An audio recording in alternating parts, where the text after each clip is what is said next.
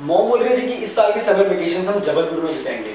ऐसा नहीं कि मैं अपने नानानी से प्यार नहीं करता, लेकिन मैं मुंबई जैसे शहर में पला बड़ा हूँ, यार, कैसे एडजस्ट करूँगा जबलपुर में? फिर मुझे वो दिखी। उस सड़ी सी गर्मी में ठंडक दे रही थी मुझे। वो उसकी बड़ी बड़ी आँखें और इसके राइट साइड वाले गाल पे वो प्यारा सा dimple I think it love love at first sight what do you think